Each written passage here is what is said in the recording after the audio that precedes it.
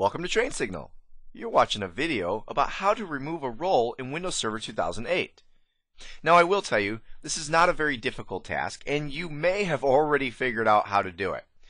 But as we go through this course, there are times where you may want to undo or remove a role that we learned about in one video before you go on to learn about a new one in another video.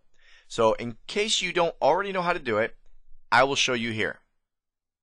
Now in order to show you, we have to go into Windows Server 2008. So I'm going to take you over to one of those computers right now.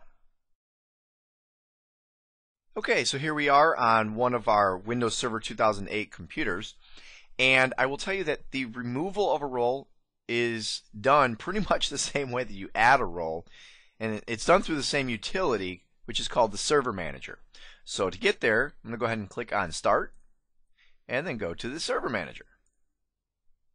Once in the Server Manager, go ahead and click on Roles. And then over here, you'll see here that we can add roles, but we can also remove roles. So I'm going to click on the Remove Roles link. Here I get a list of all the roles that are available to be installed on this computer, and you'll notice that some of the boxes are checked. Well, the boxes that are checked are the ones that have already been installed. If I want to remove a role, and in this instance we're going to remove the DHCP server role, that is a role that we added so that we could distribute IP addresses from this server, and we don't need that service anymore. So to remove that role, we're just going to clear the checkbox. And then go ahead and click on Next. Now that's pretty much all there is to this wizard because here you get a confirmation screen and then you just click remove. It'll take a few moments to do so and as a matter of fact I'm going to go ahead and pause the video and I'll be right back with you as soon as it's done removing. Okay, a few moments have passed and the removal is just about complete.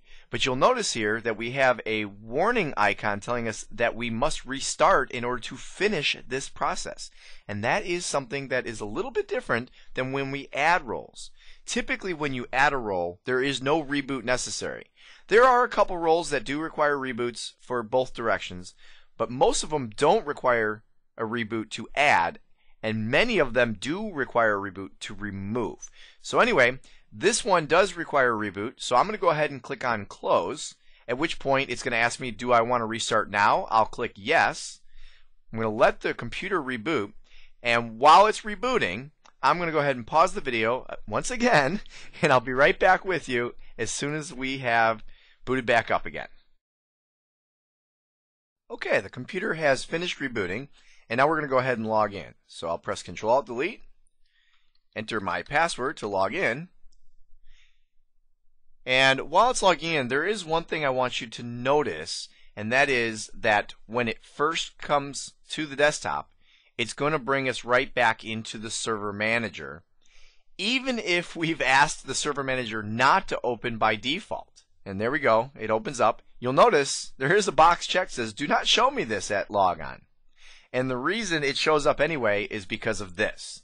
Because it needs to finish the wizard that you started before the reboot. So basically, this is going to take just a moment here while the, the bar goes across the screen and says resuming configuration. And momentarily here, it'll be done, and that's pretty much it. And there we go. The following roles are being removed, DHCP server, and there you go. DHCP server removal succeeded. I can click close if I were to click on roles, you'll see that DHCP does not show up here anymore. I can close my server manager and go about my business with the rest of managing the network. That role has been removed. So that's pretty much it. That's how you remove a role.